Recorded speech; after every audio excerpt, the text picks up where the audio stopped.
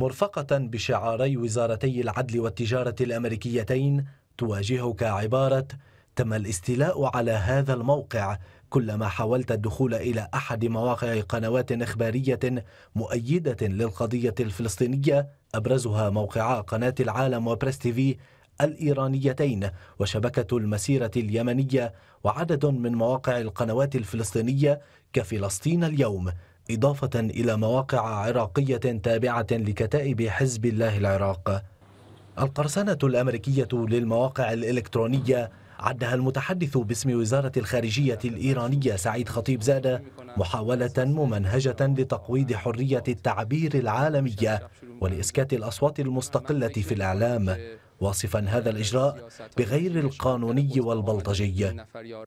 معايير واشنطن المزدوجة تكشف وفق شبكة المسيرة الإعلامية زيف شعارات حرية التعبير التي تروج لها واشنطن وتسقط بحسب عضو المجلس السياسي الأعلى في اليمن محمد علي الحوثي قناع الديمقراطية وشعاراتها وتؤكد وصول رسالة هذه المواقع وتأثيرها.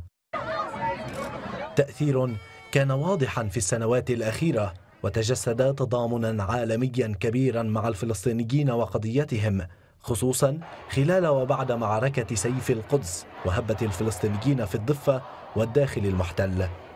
هي معطيات تثير التساؤلات حول توقيت الإجراء الأمريكي وما إذا كان يهدف إلى إسكات إعلام قوى المقاومة وتقليل تأثيرها على المجتمعات العربية والغربية وتحديدا فيما خص القضية الفلسطينية.